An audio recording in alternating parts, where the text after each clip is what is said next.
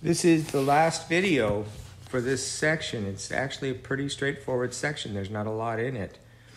So this one says the safe load L, capital L, of a wooden beam supported at both ends varies jointly with the width, W, and the square of the depth, D, and inversely as the length, little l.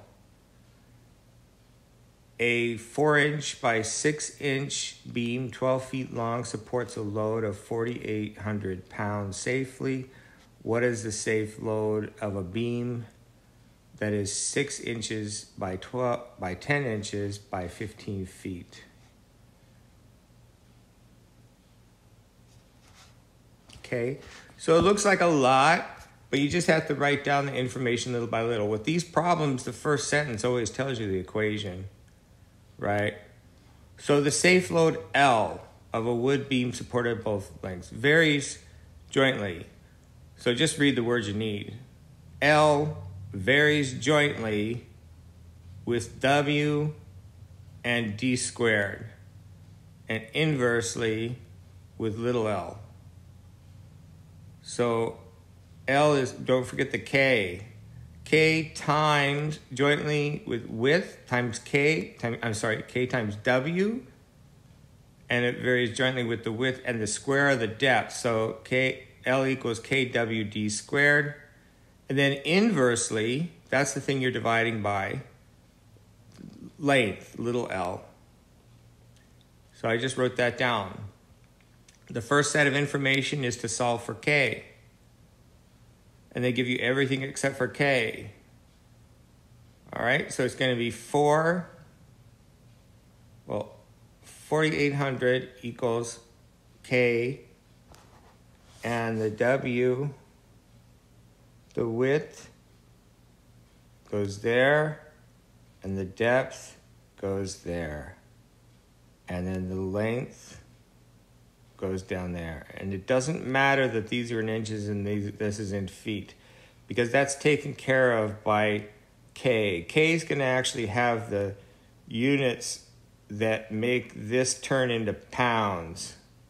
So it's going to have what? Pounds divided by inches cubed times feet. So pound feet per inches cubed. And just, you don't have to worry about that. It's just K would be different if you converted everything to feet, but then you would have convert all these to feet and it'll still work out exactly the same. Or you can keep these with this way, which is the smart way to do it. As long as these units for this second set of data are the same, it's fine. Okay? So anyway, you multiply that out and everything. Solve for k. You get k as 400.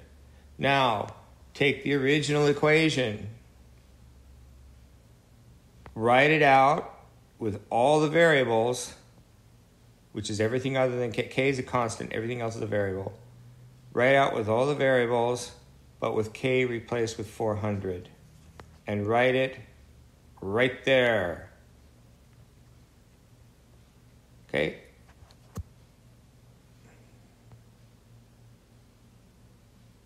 Then they're going to give us some data.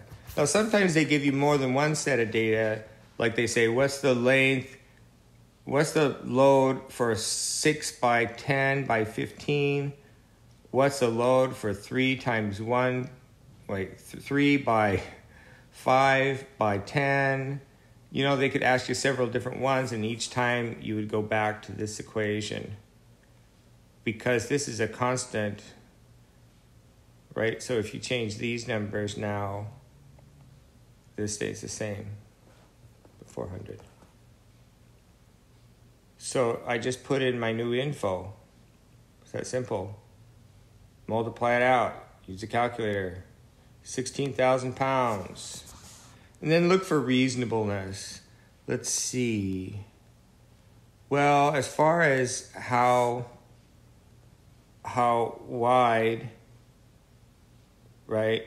And the depth and the width, this one's bigger than this one, right? Quite a bit bigger. So you expect it to be more than 4,800. At the same time, it didn't come out like 10 billion or something.